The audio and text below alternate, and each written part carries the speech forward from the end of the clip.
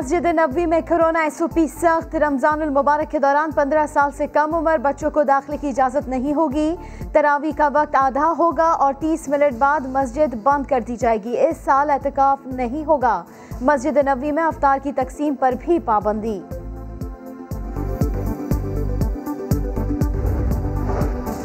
Corona के वार तेज एक दिन में मस्बत केसेस पाँच हज़ार से तजावज कर गए। तीसरी लहर के रिकॉर्ड, पाँच हज़ार दो सौ चौंतीस केसेस रिपोर्ट।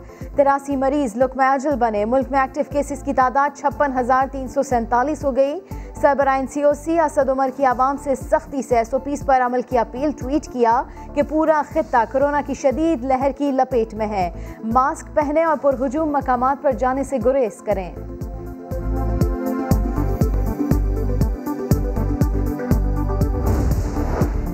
लॉकडाउन पर वज़ीर आज़म की अपनी सोच है। बैन सूबाई ट्रांसपोर्ट बंद करने की तजवीज़ मुस्तरद नहीं हुई। अगर एन सी ओ सी ने इकदाम ना किए तो हम खुद फैसला करेंगे।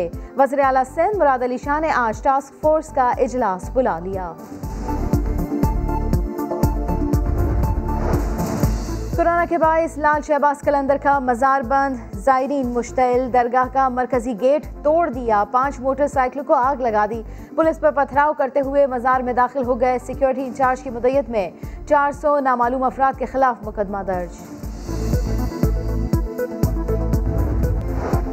पेशावर के नवाही इलाके में तेज आंधी के बायस बोसीदा मकान की छत गिर गई, दो बच्चियाँ और एक बुज़ुर्ग खातून जा भाग। चार अफराद जख्मी, पिशावर में कल से मुसलसल तेज हवाएँ चल रही हैं। और कराची में हीट वेव का तीसरा रोज, दो दिन पारा 40 से आगे बढ़ा, आज मजीद गर्मी का इम्कान। समुद्री हवाएँ बंद, हब्स बरकरार, शाम में हवाएँ चल सकती हैं।